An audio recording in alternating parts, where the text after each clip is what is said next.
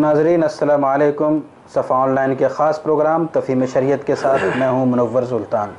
آج ہم بات کریں گے محرم الحرام کے بارے میں اور خاص طور پہ اس موقع پہ جو کچھ ہمارے یہاں بدعات ہوتی ہیں سنیوں میں، اس کی حیثیت کیا ہے اس کو کرنا کیسا ہے؟ نہیں ہے اس پہ ہم بات کریں گے۔ لیکن بات کرنے سے پہلے اپنے ناظرین سے گزارش کرتے ہیں کہ جن لوگوں نے ہمارے اس چینل کو سبسکرائب نہیں کیا ہے، وہ براہ کرم سبسکرائب کر لیں تاکہ سارا پروگرام آپ تک پہنچے، نوٹیفیکیشن آپ تک پہنچے اور آپ اس کو دیکھ سکیں۔ تو آج ہم بات کریں گے دس محرم الحرام کے بارے میں۔ یہ دن کئی لحاظ سے بہت اہم ہے، لیکن ہم دیکھتے ہیں کہ ہندوستان میں مسلمانوں نے کئی لوگوں کے اثرات قبول کیے ہیں۔ ہمارے برادران وطن ہیں، جن کے ساتھ ہم رہتے ہیں، ان کے بھی کچھ اثرات قبول کیے ہیں۔ اسی طرح یہاں شیعوں کی بھی ایک بڑی آبادی ہے، مختلف شہروں میں، مختلف علاقوں میں۔ ان سے بھی بہت سی چیزیں ہمارے یہاں آ گئی ہیں، جو جن کا شریعت سے کوئی تعلق نہیں ہے۔ تو ہم بات کر رہے تھے محرم الحرام سے متعلق۔ ہم، ہمارے معاشرے میں بہت سے علاقے ایسے ہیں، بہت سے لوگ ایسے ہیں کہ جہاں آج بھی تعزیہ بنایا جاتا ہے۔ ایک مصنوعی حضرت حسین سے متعلق ایک مصنوعی ڈھانچہ بنایا جاتا ہے اور پھر نہ جانے کیا کیا خرافات ہوتے ہیں۔ اس کے علاوہ ہم یہ بھی دیکھتے ہیں کہ ان دنوں کو منحوس مانا جاتا ہے، لوگ فقیر بنتے ہیں، سوگ مناتے ہیں اور ایک چھوٹا سا حصہ یہاں تک بھی نظر آتا ہے کہ بہت سے لوگ اس مہینے میں شادی نہیں کرتے ہیں۔ تو یہ جو سارا کچھ ہو رہا ہے، شرعی نقطہ نظر سے اس کی حیثیت کیا ہے؟ سنیوں کے لیے اس کا کرنا کیسا ہے اور نہیں ہے؟ اس بارے میں شرعی حکم کیا ہے؟ آج ہم بات کریں گے مولانا سے اور سمجھیں گے اس سے متعلق۔ تو آج ہمارے ساتھ موجود ہیں مشہور عالم دین مولانا جہانگیر عالم قاسمی صاحب، مولانا محرم الحرام کی مناسبت سے سنیوں میں جو کچھ ہوتا ہے، خاص طور پہ تعزیہ بنانا اور تعزیہ سے متعلق جو چیزیں ہیں، سوگ منانا، منحوس سمجھنا، تو شرعی اعتبار سے یہ کیسا ہے؟ آپ اس کو کس نظر سے دیکھتے ہیں؟ ناظرین، السلام علیکم ورحمۃ اللہ وبرکاتہ۔ مولانا نے بہت حسین سوال کیا ہے آپ کے استفادے کے لیے؟ قرآن کریم میں اللہ رب العالمین نے فرمایا کہ ما آتاکم رسول فخو وما نہاکم عنہ فنتہ واتقوا اللہ ان اللہ شدید العقاب۔ اے میرے بندو، ہم نے رسول کو تمہاری ہدایت کے لیے بھیجا ہے۔ رسول جو باتیں کرنے کے لیے کہتے ہیں، ان باتوں کو کرو۔ وما نہاکم عنہ فنتہ اور رسول نے جن جن باتوں سے تمہیں روکا ہے، اس سے رک جاؤ۔ وطق اللہ اور دیکھو اللہ سے ڈرتے رہنا دین کے بارے میں منمانی مت کرنا جس چیز کو چاہ دین میں داخل کر لیا اور عمل کرنے لگے وطق اللہ اللہ سے ڈرتے رہو ان اللہ شدید العقاب، اللہ کا عذاب بڑا سخت ہے۔ یہ سور حشر کی مبارک آیت ہے جس کو میں نے آپ کے گوشے گزار کیا ہے۔ وطق اللہ، ان اللہ شدید العقاب، اللہ سے ڈرو تقوا کرو، گناہ سے بچو، خرافات سے بچو۔ اللہ کا عذاب بڑا سخت ہے۔ یہ قرآن حکیم کی آیت مبارکہ کا میں نے ترجمہ پیش کیا ہے۔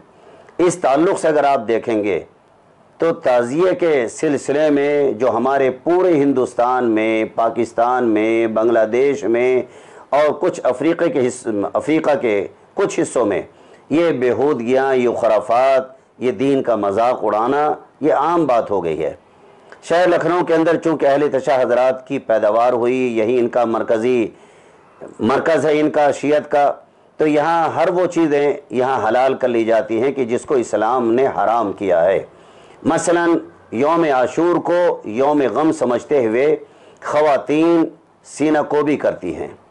جوان جوان لڑکیاں، خواتین ننگے سر ہوتی ہیں۔ غریباں چاک ہوتا ہے، سینہ کھلا ہوا ہوتا ہے، کوئی پردہ نہیں ہوتا۔ اور ایک ایک ہزار کا گروپ بن کر کے پورے شہر کی سڑکوں پہ یہ سب خواتین ٹہلتی ہیں، جن کے لیے اسلام نے تقدس کا پیغام دیا تھا۔ نبی کو فرمایا تھا کہ یا یوہن نبی قل ازواجک و بناتک و نساء المومنین یودرین علیہن من جلابی بہن اے نبی صلی اللہ علیہ وسلم، آپ اپنی بیویوں کو، اپنی بیٹیوں کو اور مسلمان خواتین کو یہ حکم دیجیے کہ وہ اپنے چہروں کو ڈھانپ کر چلا کریں۔ یو درینا علیہ من جلاب بہننا وہ اپنے چہروں پر جلباب ڈال لیں، پردہ ڈال لیں۔ ذالک دنا یعرفن۔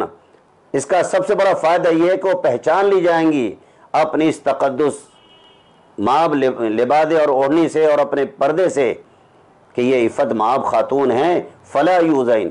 ان کے ساتھ کوئی چڑخانی نہیں ہوگی، ان کے ساتھ کوئی بدتمیزی نہیں ہوگی۔ دنیا میں، سماج میں ان کو عزت دار خاتون کا مرتبہ اور درجہ دیا جائے گا۔ وکان اللہ غفور رحیمہ لیکن اگر پردہ اچانک کھل گیا، کوئی بے پردگی ہو گئی، انجانے میں اللہ بہت معاف کرنے والا رحم کرنے والا ہے۔ قرآن کا تو یہ پیغام۔ عورتوں کو بڑا تقدس، بڑی عزت، بڑی عظمت، بڑا انعام دیا ہے۔ عورتیں تو بہت قیمتی سرمایہ ہے ملت کا۔ لیکن یوم عاشور جو بابرکت دن ہے، رحمت کا دن ہے، خیر کا دن ہے، بخشش کا دن ہے، شہادت حسین کا دن ہے، اس دن شیعہ خواتین، کچھ مسلم سنی خواتین، یہ سب کے سب اس ریلے میں شریک ہوتی ہیں، ماتم کرتی ہیں، شہر میں گھومتی ہیں، جوان جوان لڑکیاں، بالغ لڑکیاں اور عمر رسیدہ خواتین سب کے سب بے پردہ ہوتی ہیں۔ نماز کا کوئی تصور نہیں، روزے کا کوئی تصور نہیں۔ قرآن سے سراسر بغاوت ہے۔ رہی بات تعزیہ کی، تو تعزیہ بنانا یہ بھی اسلام کا کوئی حصہ ہی نہیں یہ تو بہت بعد میں تیمور لنگ کے زمانے میں یہ ساری چیزیں وجود میں آئیں کہ شہر کو غم کی چادر اڑا دی جائے، تمام دروازے بند کر دیے جائیں، روشنیاں بند کر دی جائے ماحول کو بالکل تاریخ کر دیا جائے، سوگ منائے جائے، عورتیں اس انداز میں بے پردہ ہو کر نکل آئیں۔ ہمیں شرم آتی ہے کہ مسلمان خواتین جب وہ اس انداز میں ریلے کی شکل میں نکلتی ہیں، غم کرتے ہوئے اور کچھ نغمے پڑھتے ہوئے اس کو نغمہ ہی کہتا ہوں زیادہ زیادہ۔ حضرت حسین کی سوگ میں یہ عورتیں نغمہ پڑھتی ہوئی نکلتی ہیں، پورے شہر میں گردش کرتی ہیں اور غیر مسلمین، پولیس والے، عوام الناس، عام لوگ، سب کے سب ان کے درشن کے لیے آنکھیں ٹھنڈی کرنے کے لیے کھڑے رہتے ہیں۔ جو امت مسلمہ کی خواتین کا جو کردار ہونا چاہیے، وہ اس روز اس کردار کا جنازہ اٹھا دیا جاتا ہے، جو تقدس رب العالمین نے دیا تھا۔ ان کو دیکھ کر ہماری خواتین بھی ان کے جلوس کو دیکھنے جاتی ہیں، بڑی تعداد میں چھتوں پہ نظر آتی ہیں، دونوں سائڈ میں سڑکوں کی۔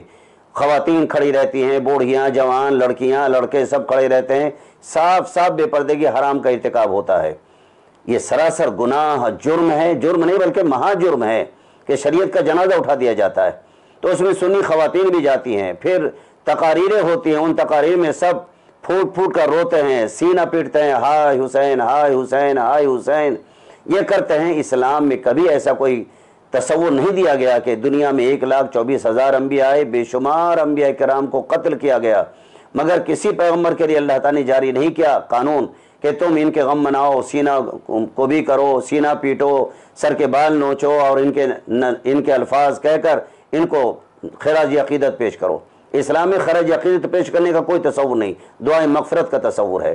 لہٰذا تازی کے عنوان سے یوم عاشور میں دل دل سوار ہے، ایک جانور گھوڑے کو سجا دیا جاتا ہے، جلیبی دودھ بلائی کھلائی جاتی ہے، حضرت حسین کا ٹیکہ لگایا جاتا ہے اور حضرت حسین کا تابوت بنایا جاتا ہے، فرضی اس میں سفید پگڑی باندھی جاتی ہے، پگڑی کو سرخ رنگ سے رنگ دیا جاتا ہے، اس میں ایک چھوڑا گھوپ دیا جاتا ہے۔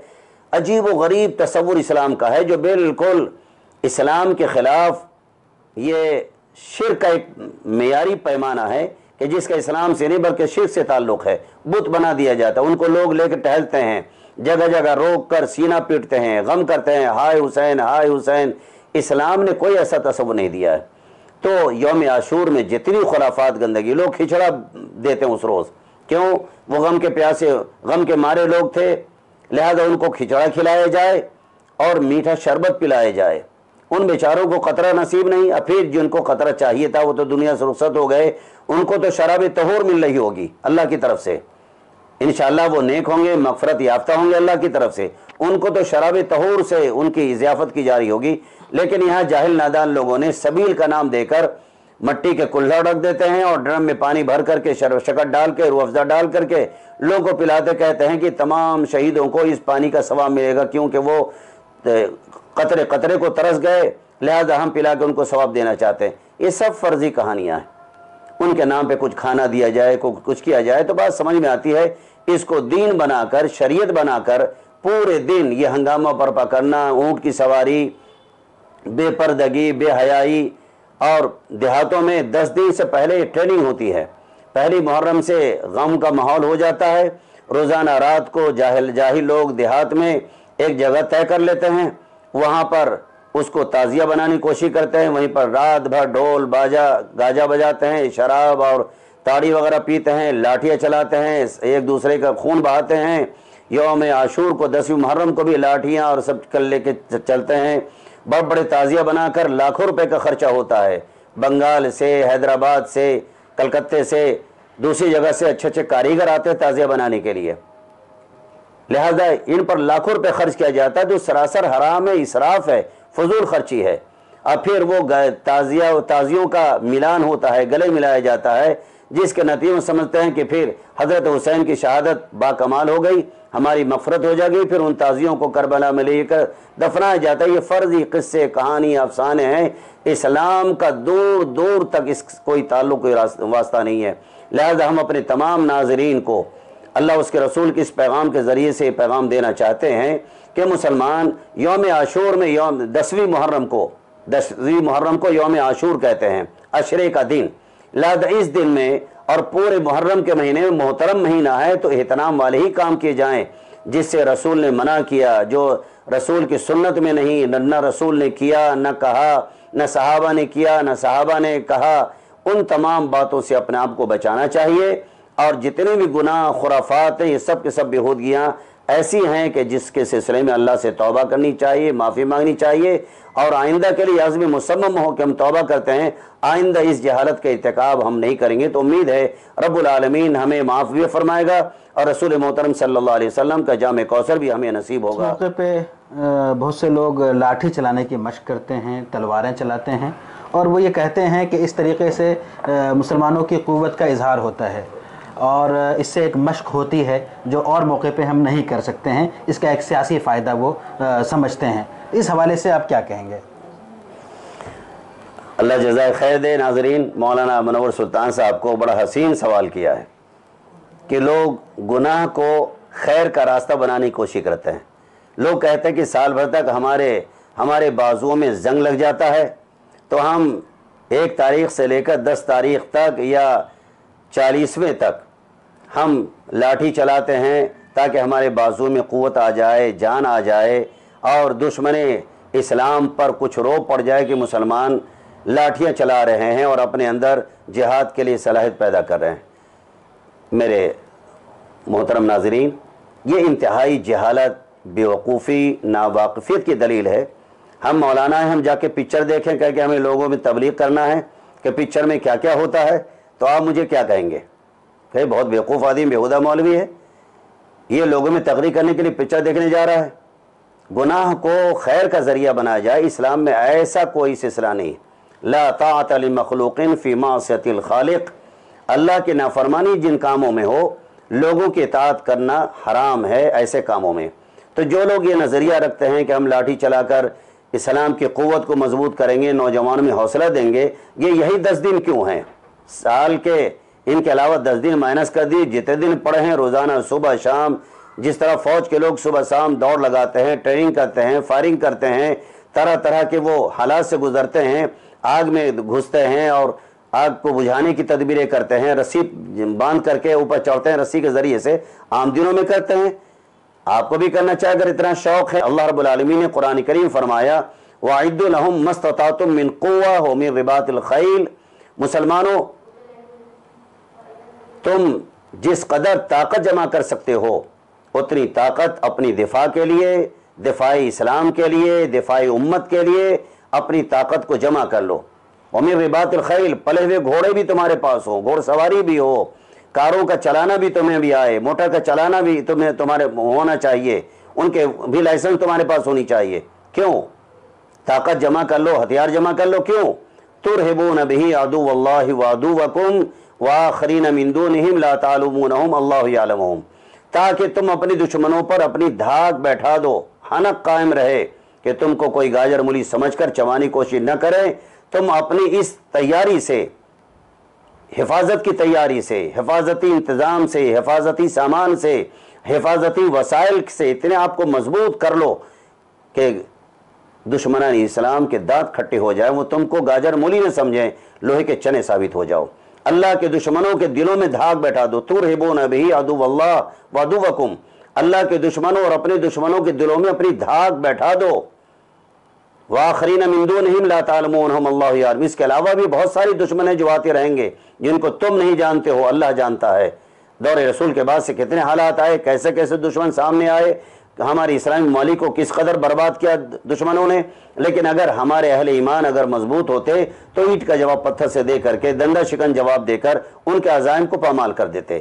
تو یہ تو غلط تصور، غلط نظریہ ہے کہ ہم محرم میں لاٹھی چلا کر کے تیس مارخاں پہلوان بن جائیں گے اور اسلام کا خلاف ادا کر لیں گے اور باب خیبر ہم اکھاڑ لائیں گے۔ یہ سب نادانی جہالت کی باتیں ہیں۔ گناہ کو، گناہ کر کے اس کو خیر کا ذریعہ نہیں بنایا جا سکتا۔ لہذا یہ تصور مسلمانوں کا انتہائی جاہلانہ ہے۔ اسلام کے مزاج سے میل نہیں کھاتا۔ پوری طرح بچنے کی کوشش کرنی چاہیے۔ اللہ ہم سب کو عمل کی توفیق عطا فرمائے۔ بہت شکریہ۔ جزاک اللہ ناظرین، آپ دیکھ رہے تھے صفا آن لائن کا خاص پروگرام تفہیم شریعت۔ اور آج ہمارے ساتھ موجود تھے اہم مہمان مولانا جہانگیر عالم قاسمی صاحب۔ اگر آپ کو ہمارا پروگرام پسند آئے تو اسے ضرور لائک کیجیے شیئر کیجیے اور دوسروں تک پہنچائیے۔ بہت بہت شکریہ۔ جزاک اللہ۔